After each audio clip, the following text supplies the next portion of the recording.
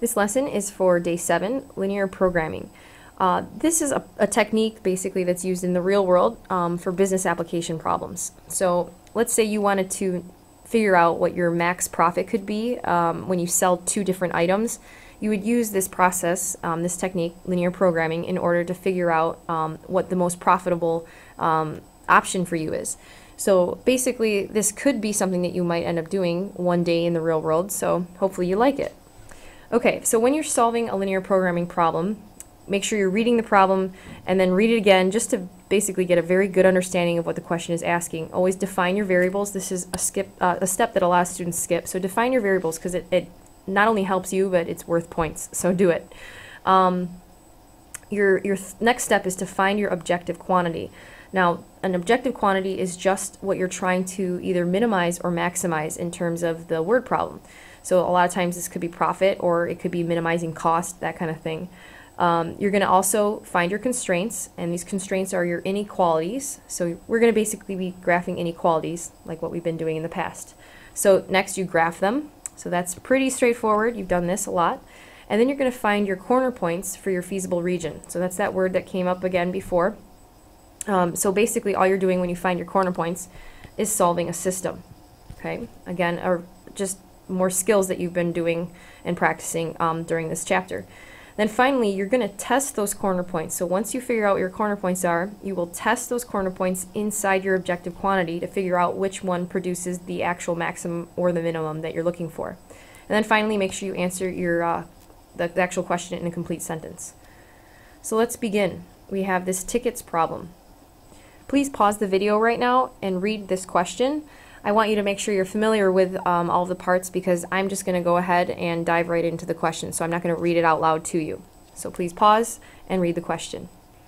All right, our first step is always to define our variables. So make sure you're very explicit about what x and y are going to equal. In this case, it's the number of business tickets sold and the number of tourist tickets sold, not just business ticks or tourist tickets, which is what a lot of students will just write here. So make sure you're very explicit. Now, um, the reason why I know that those are the variables is because it asks me how many tourist class ticket seats should they sell, which means um, that's an unknown. So if this is one of your unknowns, then your other unknown should probably be the other type of ticket that they sell, which is the business class ones. So um, that's going to, you know, be a, a tool for you to just read the problem and try to find clues as to what your variable should be. Now, your objective quantity is um, relating to maximizing profits. Okay, so we want to maximize profits, which means we're going to go towards the sentence that talks about um, how much profit they make.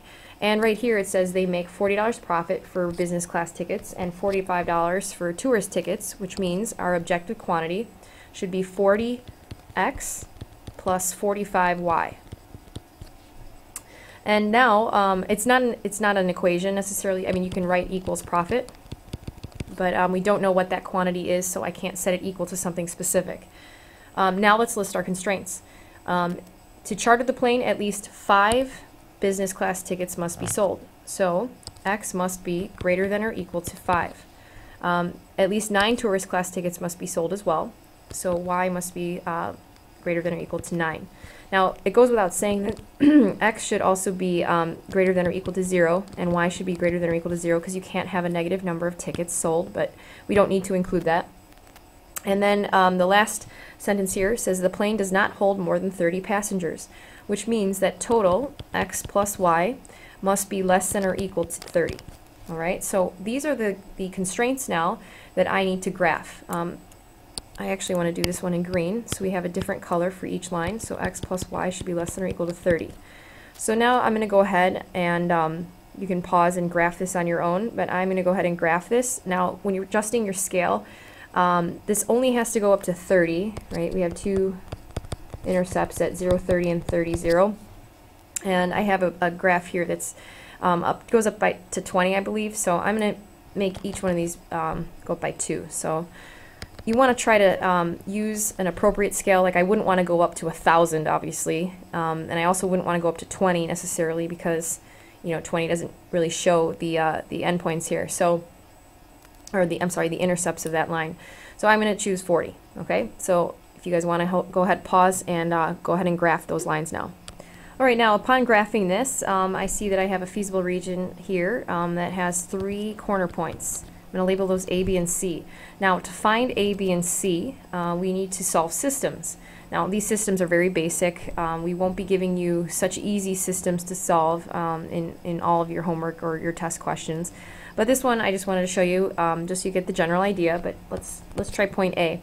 Now, point A is the intersection of the uh, green line, so the line um, x plus y is less than or equal to 30, and the red line, x is greater than or equal to 5. So you're just solving the system.